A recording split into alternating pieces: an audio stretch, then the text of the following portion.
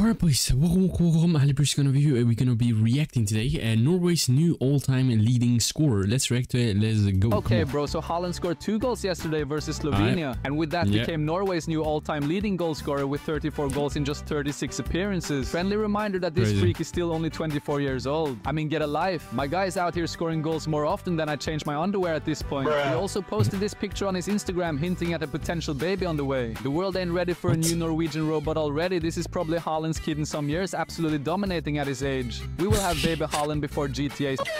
Based on the expected goals, he will probably get triplets. Haaland also captained his country for the first time and really had to call Martin Crazy. Odegaard before the game for advice on how to do it. This guy is unbelievable.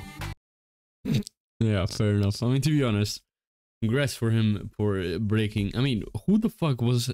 Is there even another guy who literally played uh, as a striker for Nor- Norwegian, like a Norwegian striker like, what the fuck was the record? Thirty-three goals or something? Like, what the fuck?